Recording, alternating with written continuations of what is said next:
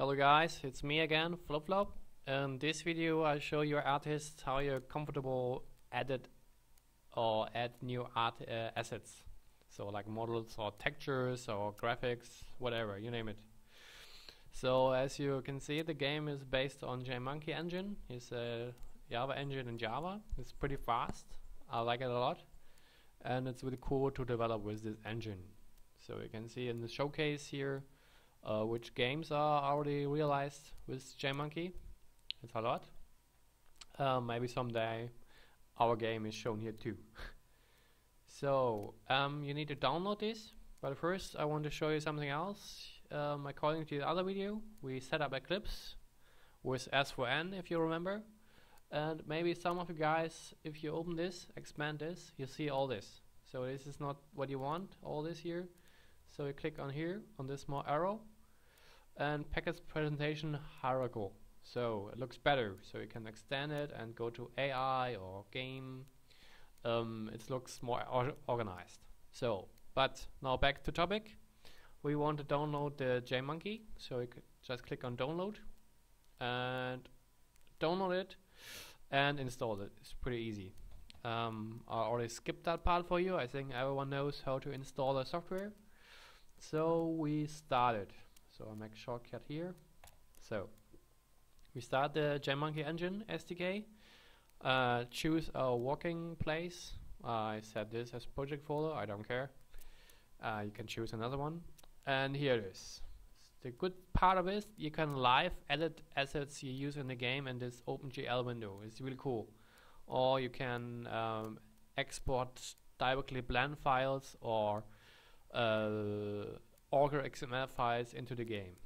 So I close this for a moment and here you can see updates. You always should install all the new updates because um, it um, yeah the the community is really active. They always um, keep this up to date.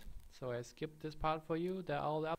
Uh, if you update, you should accept all the terms and update, and you need to re uh, restart the application normally you should update twice. So the first update and then after restart there are even more updates. So I stop the video for a moment. So now my SDK is up to date. You should do that too. And now we can use the Eclipse project here and load it here but only the assets so all the graphics. For do that we click on file import pro uh, project external project assets. So we just want to have the assets. We don't want code here so we use the path, we um, have our SVN. For me, if you remember, is E tutorial Maven project and Agent Keeper. And here you just have to type assets. That's all. So next and finish. And voila, you have the project here and all the assets. The cool thing is now you can click on maybe models or and goblin and click double click the goblin is j3o is the JMonkey format and you see the goblin here. But you have to turn on the light of course. And there is the goblin. Hello goblin.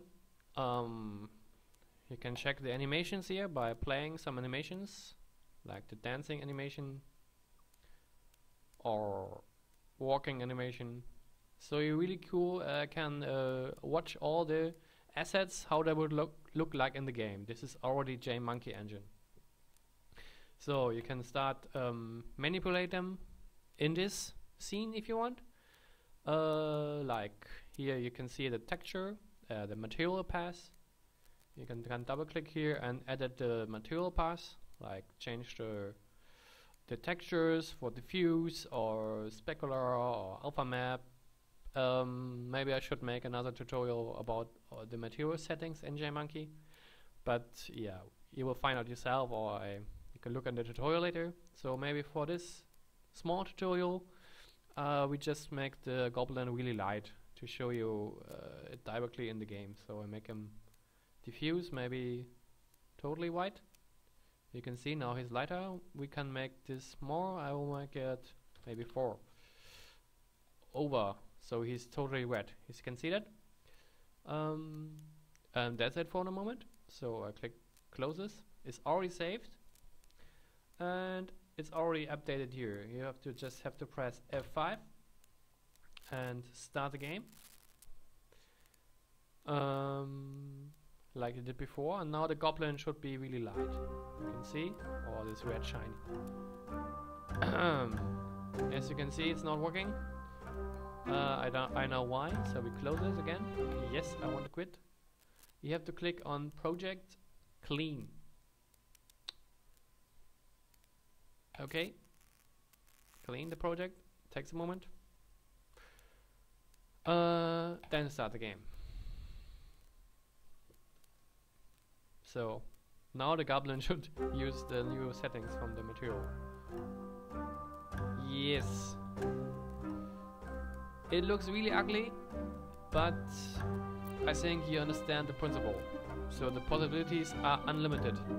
You can edit all the assets, change materials, change texture, change models. Um, yeah. That's it for the moment. Close this. Maybe I show you how to change something else. Uh, what we have here? Mm, the orc? No. Yeah, here you can see all the tile sets, like the dirt. You can see all the tiles. Um, yeah, that is for this video. Just small, short video. Um, and next video I'll show you um, a whole workflow how you uh, make a new model inside the game. Okay, that's for the moment. Bye.